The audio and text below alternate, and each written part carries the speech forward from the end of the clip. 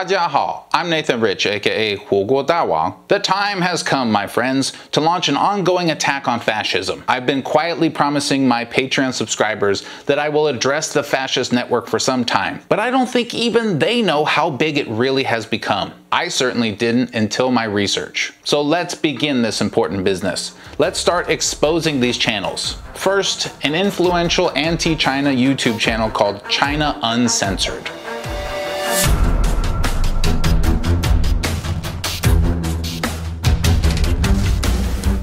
Let's check out a recent video with a very scary name and thumbnail. China to double nuclear warheads. Yes, that is true.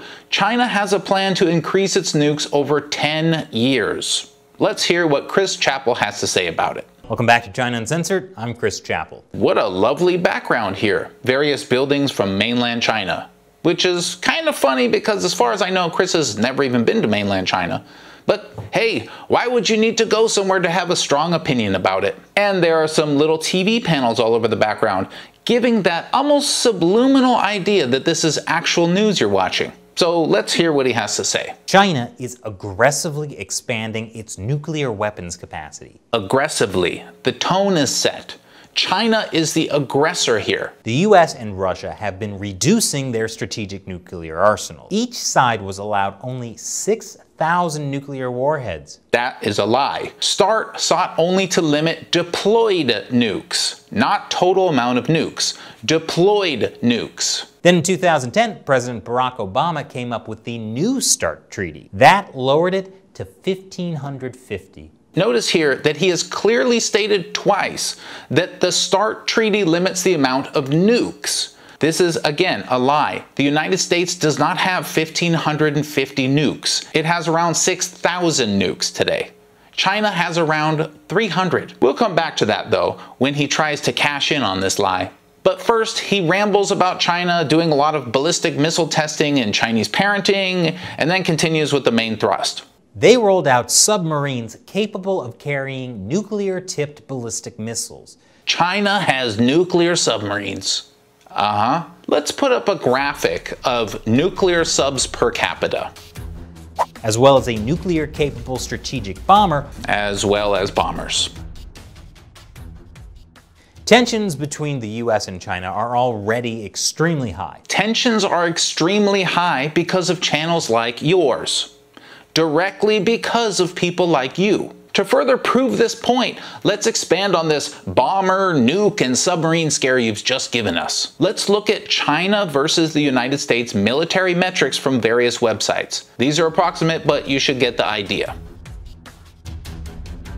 Aircraft, combat aircraft, dedicated attack aircraft, attack helicopters, combat tanks, armored vehicles, entire Navy fleet, aircraft carriers. It goes on and on and on. The United States is objectively the biggest, most militarily dominant and aggressive nation. It's not even close.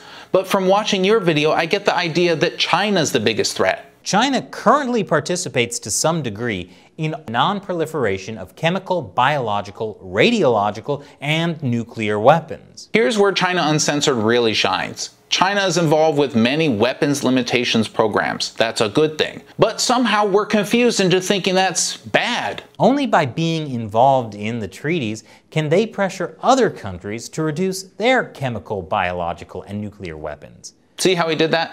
Yeah, Chris, China's so sneaky. How dare they participate in weapons limiting programs while having proportionately very few weapons? What are they, peaceful? Now let's take a look at how Chris tries to cash in on the lies he told about what START meant. It makes sense for them to expand their nuclear capacity. After all, Russia and the US supposedly have only about 1,500 nuclear warheads. Even if China doubles theirs, that would only bring it up to about 600 or so. It almost sounds like he's saying the US and Russia combined have 1,500. What he really means, though, is that the US has around 1,500, which is a lie.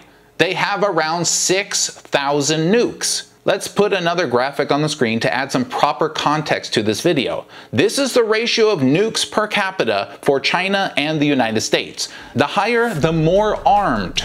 The US has over 18 nukes per million people living in it. Meanwhile, China has 0.22 per million people. Are you starting to get the picture?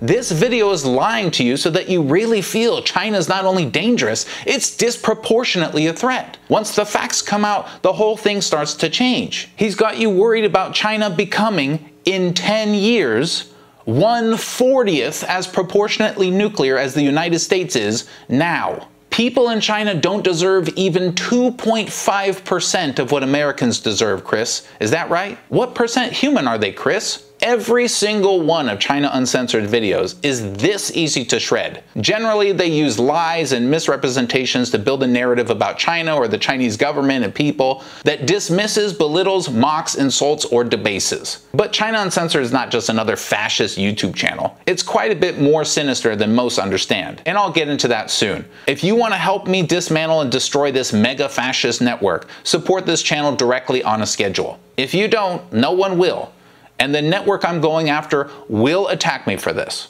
Will you be with me? Until next time, thanks everybody. 谢谢。